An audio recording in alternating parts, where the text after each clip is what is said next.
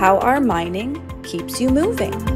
At Fortuna Silver Mines, we strategically focus on producing gold. However, our diverse mining company also produces silver, lead, and zinc. These highly sought after materials are vital aspects of our everyday lives, each with various traditional uses and new applications to supply the items we need when building a sustainable and equitable future.